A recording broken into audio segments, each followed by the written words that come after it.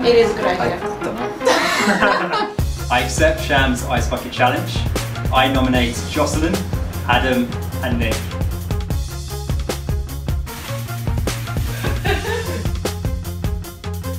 And I nominate Camilla, Jamie, and David Cameron.